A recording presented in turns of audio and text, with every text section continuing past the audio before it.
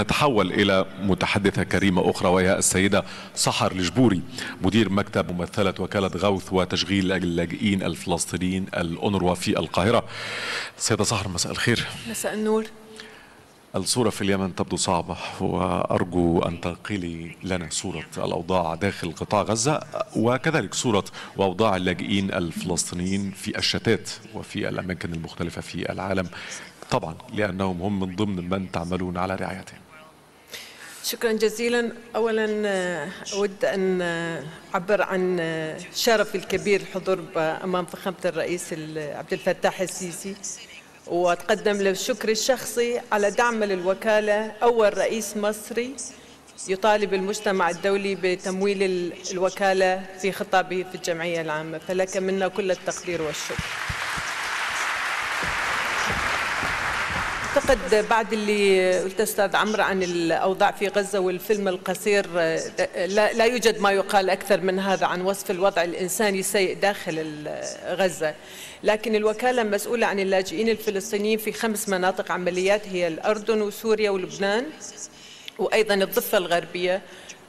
بما فيها القدس الشرقية بالإضافة إلى غزة. والأوضاع في جميع هذه المناطق لا تسر حقيقة. فمن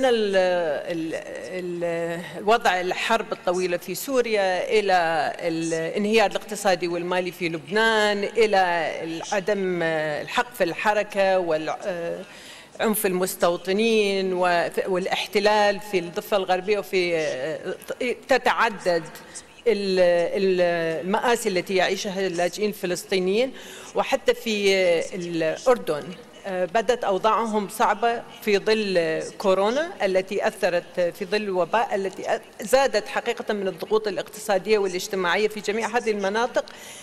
حالها حال باقي العالم. نتيجة هذه الضغوط ونتيجة أعداد اللاجئين الفلسطينيين اللي مسجلين لدى الوكالة حاليا يبلغ عددهم 5.8 مليون لاجئ. ازداد وزيادة هشاشة أوضاعهم ازدادت احتياجاتهم فازدادت فزاد اعتمادهم على الوكالة. والوكالة مع الأسف إحنا دا تمر بتحديات كبيرة كذا سنة حاليا من 2015 في ضغوط كبيرة على الوكالة منها ضغوط مالية. فقلة الوكالة أنشئت كوكالة مؤقتة حتى توصل إلى حل عادل للنزاع الفلسطيني الإسرائيلي وبيشمل هذا الحل حل اللاجئين الفلسطينيين. بعد 72 سنة من العمل لم يتم التوصل إلى هذا الحل. وهذا سبب إنه أصبح في عزوف من المانحين من الجهات المانحة إنه تقدم ما يكفي من أموال بحيث تتمكن الوكالة من أداء اعمالها وتقديم الخدمات الإنسانية وحماية الحقوق الفلسطينيين اللاجئين. فبالنتيجة هذا شكل ضغوط عليها في إنه تضطر إلى اعاده النظر في خدماتها. إضافة إلى ذلك الوكالة تتعرض إلى ضغوط سياسية صعبة.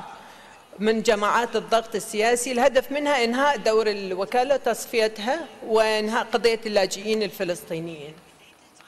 طبعا يمكن هذا يخليني أشيد بالدور اللي تلعب الدولة المصرية في دائما المناصرة الوكالة في شتى المحافل والدفاع عنها.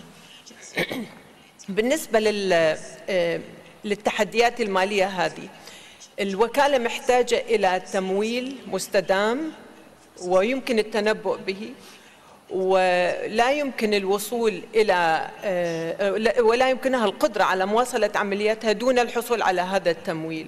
ويمكن أيضا نعول على الدور المصري في مواصلة تحث المجتمع الدولي على تمويل الوكالة. في الآن مبادرة مصرية تنفذ على الأرض المرحلة الثانية منها لإعادة إعمار القطاع والكثير من المناطق في البنية التحتية وفي الكورنيش الخاص والرصيف البحري يعني إنجاز التعبير في غزة بيعاد يعني إعمار وتهيئته هل تري بأن هناك شكل ما مقترح للتعاون ما بين مصر والأونروا والتنسيق على الأرض فيما تحتاجه الوكالة؟